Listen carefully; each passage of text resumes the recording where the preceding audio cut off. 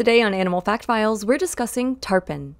There are two species of living tarpon the Atlantic tarpon and the Indo Pacific tarpon, and their common names give away where they live. These are coastal fish, often found no deeper than 164 feet below the waves, although they're far more commonly seen at depths of 50 feet or shallower. These fish are tolerant of a lot of changes. They can handle changes in salt, meaning they can live in freshwater. They can also handle changes in oxygen, meaning they can live in water that's nearly devoid of oxygen. They don't even need oxygen in the water, technically speaking, because they can breathe atmospheric air. In fact, it's believed that these fish are required to breathe air from time to time, or they'll die. Tarpon have a modified swim bladder which allows them to gulp down air. Of course, they can also use their gills to take oxygen from the water if it's available. In fact, just about the only thing these fish can't tolerate is a change in temperature. If the water gets too cold, they'll die en masse.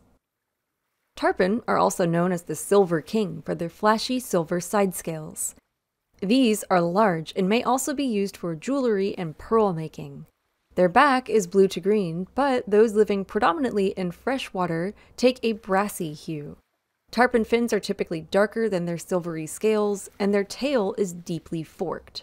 The Atlantic species is larger, reaching up to 8 feet long and 330 pounds, although their average size is closer to half this.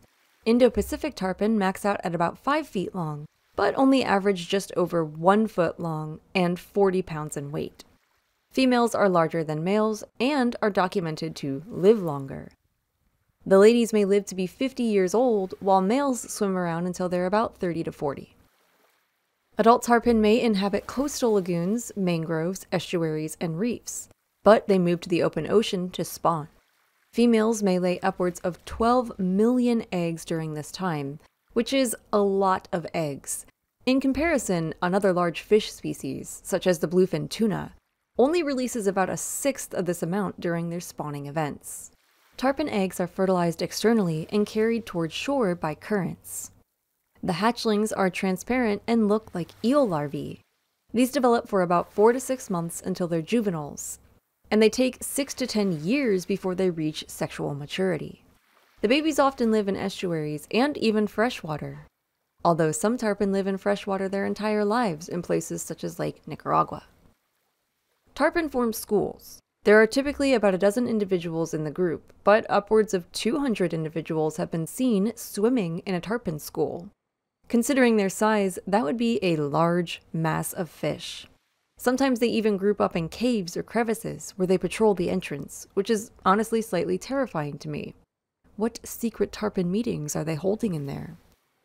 These fish eat smaller fish and crustaceans. They only have small teeth throughout their mouth and throat, but they have a hard, bony plate to crush crab shells and anything else that isn't swallowed whole. Most meals are swallowed whole, though. Juvenile tarpon eat smaller fish and insects. The young are also more at risk to predators, such as birds of prey. Adult tarpon are taken by sharks, such as bull sharks and hammerheads, as well as alligators and dolphins. Humans also catch them, although they're only occasionally eaten. It really depends on the region. They're sought after by recreational anglers because they put up a good fight. When hooked, they make massive leaps out of the water. Want to help us share even more amazing animal facts? Join Dad, Spike Spiegel 93, and the rest of our Patreon family to help keep the knowledge flowing. Give a thumbs up if you learned something new today, and thank you for watching Animal Fact Files.